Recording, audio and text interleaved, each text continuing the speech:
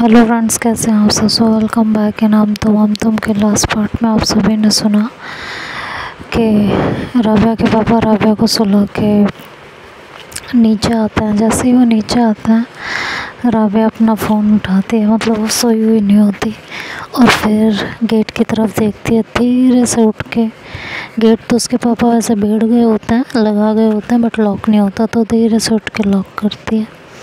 और उसके बाद अपने बेड पे आके ईशू को कॉल करती है। ईशू पहली ही बेल में उसका फ़ोन रिसीव कर लेती है। राबिया कहती है, क्या फ़ोन हाथ में लेके बैठे थे? कहती है हाँ मुझे पता था तुम कॉल करोगी। अब ये बताओ तुम्हारी तबीयत कैसी है? तो कहती है, मेरी तबीयत को क्या हुआ मेरी तबीयत तो फ़र्स्ट क्लास है। झूठ मत बोलो राबिया मेरी वजह से तुम्हें चोट लग गई है और बहुत ज़्यादा लग गई है। तो कहती है, अरे ठीक है, इतना तो चलता रहता है, इसमें कोई बड़ी बात नहीं है। समझ में आया? ये सब तो लाइफ में होता रहता है। कितनी आसानी से कह देती हो ना कि ये सब तो लाइफ में होता रहता है, मुझे पता है। तुम्हें बहुत दर्द हो रहा होगा कहती है, वो सब छोड़ो, पहले तुम मुझे ये बताओ, आज ये हॉस्पिटल में क्या बेवकूफ़ी कर रही थी तुम हम्म? मुझे पहले तुम ये बता दो। बाकी बात तो हम अब बाद में करेंगे। नहीं, तुम बेवकूफ़ हो या बेवकूफ़ बनने की कोशिश करती रहती हो? बट मैंने क्या किया? क्या किया? लाइक सीरियसली तुम मुझसे अभी ये पूछ रही हो कि तुमने क्या किया? क्या ज़रूरत थी? पापा के सामने इतना सब कुछ बोलने की।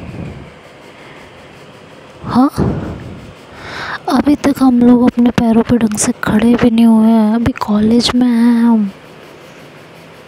और तुमने पापा के सामने इतना सब कुछ बोल दिया। पागल हो क्या तुमने तो संभाल लिया संभाल लिया। पता नहीं, पापा को मेरी किन बातों पे यकीन हुआ है और किन पे नहीं। ये तो पापा ही जाने।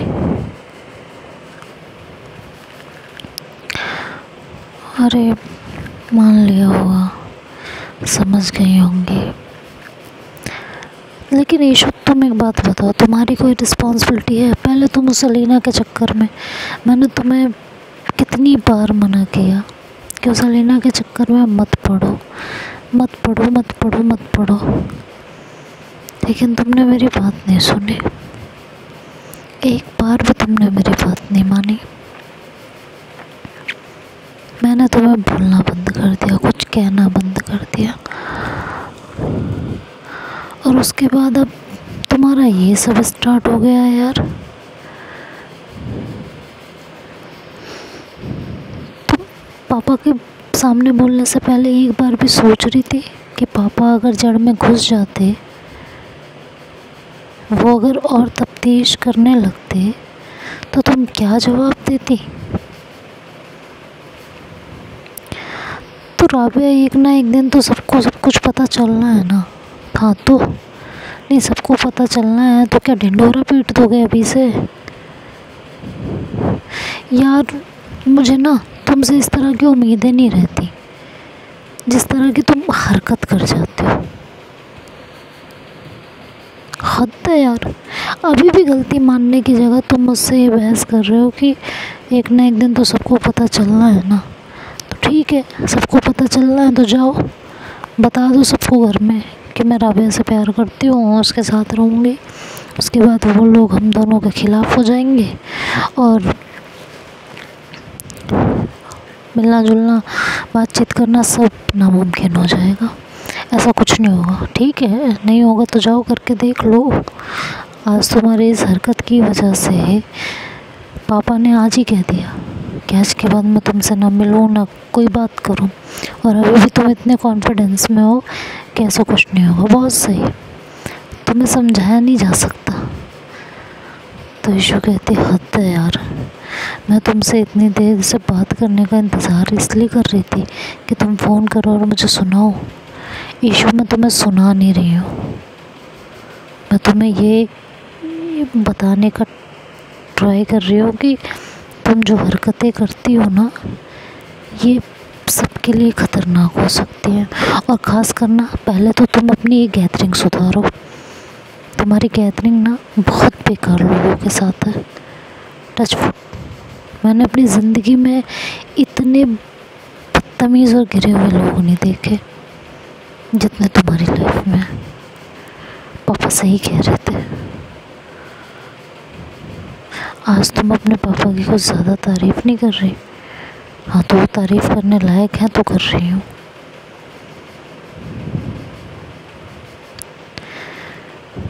पता है ईशु मैं तुमसे प्यार करती हूँ। तुम्हें खोना नहीं चाहती। लेकिन जिस तरह की तुम्हारी हरकतें हैं ना, ये ज़रूर हम दोनों को एक दूसरे से अलग करवा देंगे। ये याद रखना, ऐसा कुछ नहीं होगा। होप सो ऐसा कुछ ना हो। वरना ना तुम मेरे बगैर जी पाओगे और ना मैं तुम्हारे बगैर। मैं जानती हूँ कि तुम मुझसे बहुत प्यार करती हो और तुम भी जानते हो कि मैं तुमसे बहुत प्यार करती हूँ। बट हर चीज़ बताने का एक सही टाइम होता है और उस टाइम का हमें इंतज़ार करना पड़ेगा। जब तक वो टाइम नहीं आ जाता, हमें सोच सोच के कदम रखना पड़ेगा। अभी तक तो तुम्हारी बुआ भी नहीं मानी है। और तुम यहाँ सबको बताने चल दी सोचती हो कभी कि कितना बड़ा बवाल हो सकता है। मुझे नहीं डर लगता राबिया मुझे सच में डर नहीं लगता। अच्छी बात है। तुम्हें डर नहीं लगता तो बहुत अच्छी बात है। बट डरना ना कभी कभी बहुत ज़रूरी होता है। नहीं डरोगी तो बहुत कुछ खो दोगी। डरना ज़रूरी है। एटलीस्ट तब तक, जब तक हम उस लायक ना हो जाएँ कि हम खुल के अपनी बात सबके सामने रखते हैं। बाकी वक्त का कोई भरोसा नहीं है। क्या पता कोई सिचुएशन ऐसी हो जाए कि अपने आप सब कुछ सबके सामने आ जाए, लेकिन तब तक तो हम एहतियात रख सकते हैं ना। इतना तो कर ही सकते हैं। हुँ? हम्म? कर सकते हैं कि नहीं? ईशु कहते हैं, जी हजूर, जो आपको फ़िलहाल अब बहुत रात हो गई है, तुमने दवा ली? हाँ ले ली। तो अब तुम आराम करो, तुम्हें आराम की ज़रूरत है। ठीक है? और इस अलीना को तुम अब तुम किसी को नहीं देखोगी। और ना ही कुछ उल्टा सीधा करोगे जो होना था, वो हो चुका। अब और कुछ नहीं। वो तुम्हारे सामने आती है, तब की तब देखेंगे। जब तक वो खुद कुछ नहीं करती है, तुम अब कुछ नहीं करोगी। या मुझसे प्रॉमिस करो ईशु ईशु कहते बट कहती है, बट बट कुछ नहीं। जो होना था, हो गया। मैं तुमसे प्रॉमिस चाहती हूँ कि वो लड़की जब तक तुम्हारे आगे नहीं आएगी खुद तक तुम कुछ भी नहीं करोगे, बस इतना प्रॉमिस चाहिए मुझे तुमसे। और अभी क्या अभी चाहिए। जल्दी दो। बहुत कहने के बाद वो उसे प्रॉमिस कर देती है। लेकिन मन ही मन सोचती है कि ऐसे कैसे मैं उसे छोड़ दूँगी। उसने तुम्हें छूट दिया। मेरी राबिया को छूट दिया उसने। इतनी आसानी से मैं उसे कैसे छोड़ सकती हूँ?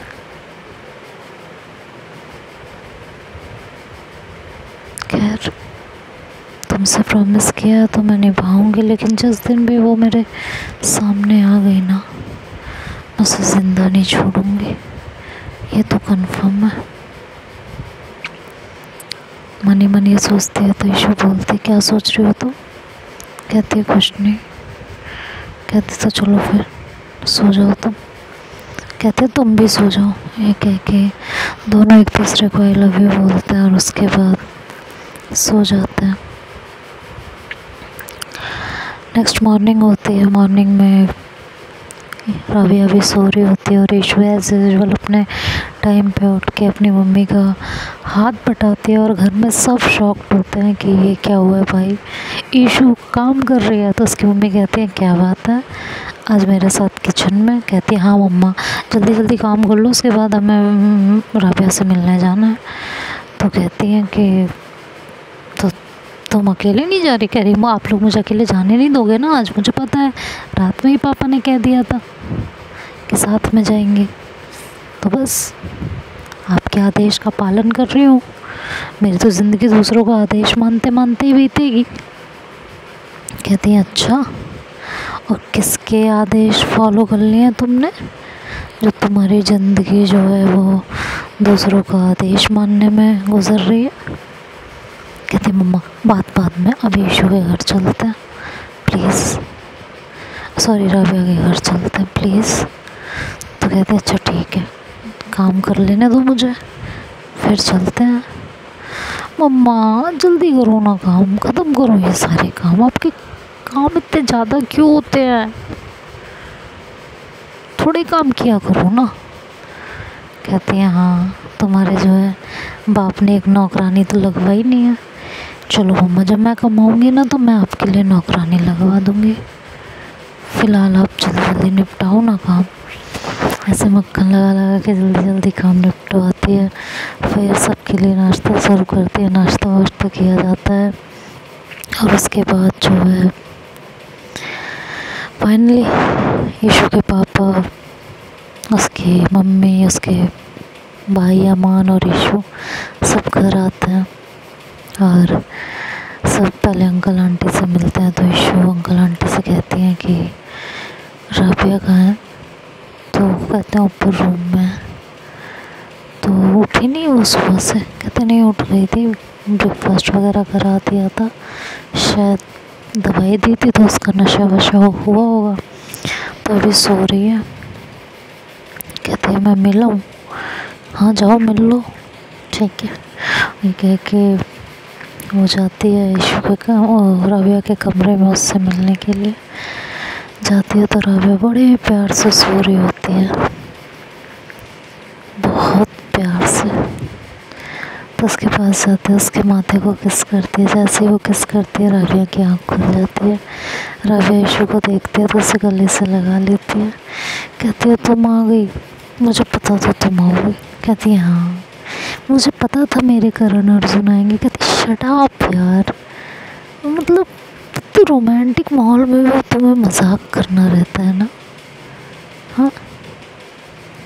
हद करती हो यार तुम तो कभी कभी अच्छा और क्या हद करती हूँ मैं? तो मैं इतने अच्छे से मज़ाक कर रही हूँ और तुम जो है मतलब मैं इतने अच्छे से बात कर रही हूँ और तुम हो के मेरा मज़ाक बना रही हो। लाइक सीरियसली यार I hate you don't hate me I really really love you कौन सा प्यार? ऐसा कोई प्यार होता है? मेरा ही मज़ाक बनाती रहती हो तुम। ये लोग बात ही कर रहे होते हैं कि तभी डोर नॉक होता है तो राबिया सीधी होके बैठ जाती है, जो कि अभी तक उसके गले लग के बैठी हुई होती है। तो ईशु जाकर डोर ओपन करती है, जैसे ही डोर ओपन करती है तो ईशु देख के शॉक हो जाती है। उसकी बुआ वहाँ खड़ी हुई होती है तो उसकी बुआ अंदर आती है। ईशु कहती है, अब आप यहाँ क्या लेने आई हो? आपको अभी भी चैन नहीं मिला? उसके हाथ में चोट लग गई है। अब क्या लेने आई हो यहाँ पे? हाँ? तो उसकी बुआ कहती है, मैं तुम्हें ले जाने आई हूँ। इतनी देर हो गई यहाँ बैठे हुए। अब चलो यहाँ से। पर अब ईशू कहती है मतलब अभी भी आप, आपको पता है, मुझे राबिया से ज़्यादा कोई कभी प्यार नहीं कर सकता। अभी भी आपकी आँखों पर पट्टी बंधी हुई है तो कहती है हाँ बंधी हुई है। और कुछ मुझे जो दिखाई दे रहा है ना, वो तुम्हें कभी नहीं दिखाई देगा। तो अपनी ये फालतू की बकवास बंद करो। और चलो मेरे साथ नीचे। तो ईशु कहती है, मैं तो कहीं नहीं जाने वाली। चाहे जो हो जाए।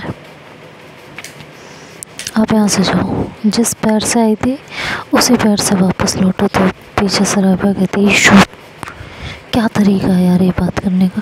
कहती है, तुम्हें हमेशा मेरी क्यों गलती नज़र आती है? इनकी गलती कभी क्यों नहीं नज़र आती? हाँ? इन्हें दिखाई नहीं देता कि तुम मुझसे कितना प्यार करती हो। इन्हें ये भी नहीं दिखाई देता कि मैं तुमसे कितना प्यार करती हूँ। इन्हें कुछ नहीं दिखाई देता। इन्हें सिर्फ़ और सिर्फ़ अपने ईगो की पड़ी हुई है। तो उसकी बुआ कहती है, मैं जाके तुम्हारे सारे कारनामे नीचे बता दूँ या तुम मेरे साथ नीचे चल रही हो? अभी के अभी, चलो। ईश्वर राबिया को गुस्से में देखते राबिया उसे आँखों से इशारा करती है कि तुम नीचे जाओ, मैं अभी आती हूँ। तो देखते हैं आगे क्या होता है। तो नेक्स्ट पार्ट में सुनेंगे। तब तक के लिए बाय बाय टेक केयर